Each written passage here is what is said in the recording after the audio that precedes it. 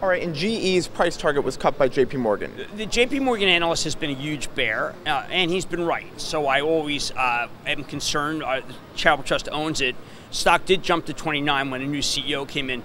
Uh, a lot of people saying, "Well, Jim, you said it's one of the best stocks for the next 10 years," and you know you're wrong. At last I look, uh, 10 years are not up.